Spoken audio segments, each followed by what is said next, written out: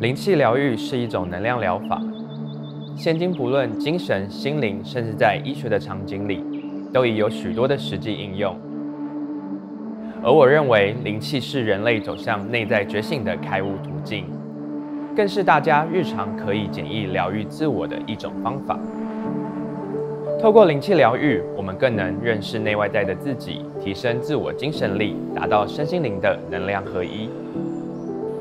大家好，我是 Oliver，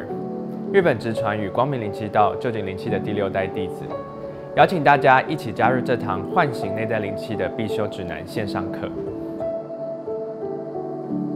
幸福的人往往未必是最顺境的人，我们天生即具备自我疗愈能力。若时时校准在顺境与逆境转化旅程带来的悟性，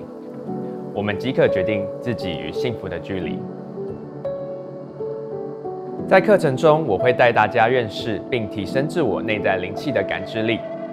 透过双手启动与内外世界的频率连接，兼容并蓄的将内感心智与外感意识达成所谓的共感，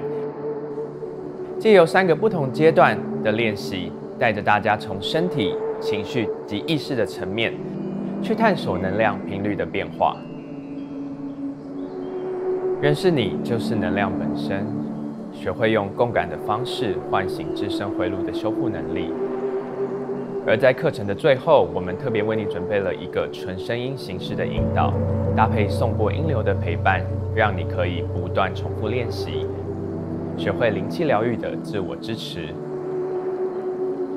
期待你一起加入我们，用灵气这个温暖的力量，温柔的好好爱自己，陪伴自己。